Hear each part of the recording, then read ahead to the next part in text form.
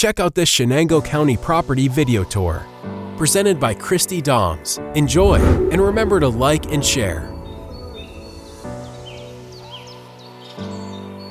Welcome to 192 Great Brook Potter Road, New Berlin, New York. This charming cabin offers a cozy retreat with three beds and one bath. Perfect for those seeking to get away from it all and relax in the beautiful Chenango County. Situated on an expansive 15.97 acre property, this home boasts a three bay garage with an RV garage in the middle bay, accompanied by a woodshed, a woodworking shop area, and extra covered storage on either side. The property also features a shed workshop or storage area, providing ample space for hobbies or storage needs. With well-maintained interiors and manicured landscape, this home exudes pride of ownership. Nestled in a private setting, the home is well set back off the road, offering peace and seclusion.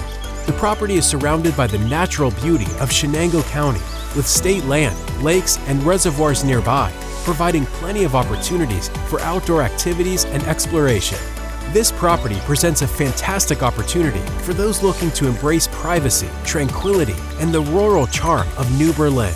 A unique chance to own nearly 16 acres of serene land in this picturesque region of Chenango County.